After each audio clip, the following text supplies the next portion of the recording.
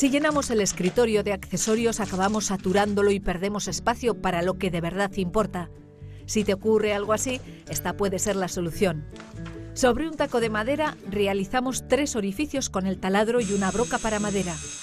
El agujero central tendrá un diámetro mayor porque por él tendrá que atravesar un tornillo que se fijará a la pared.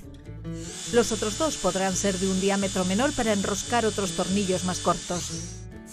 Barnizamos la madera y una vez que el barniz se haya secado, fijamos las abrazaderas.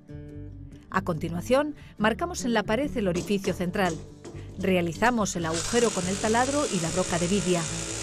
Insertamos el taco y enroscamos el tornillo central. Como se trata de una pieza que pesa poco, con un solo punto de fijación será más que suficiente. Solo falta añadir los recipientes que vamos a realizar con tubos de PVC de fontanería. Después de realizar las mediciones necesarias, los cortamos con la sierra de calar y una hoja para plástico. Pegamos en la base una tapa también de tubos de fontanería con adhesivo. Ya veis que en el mercado existen diferentes modelos de tapa, elegid la que más os guste.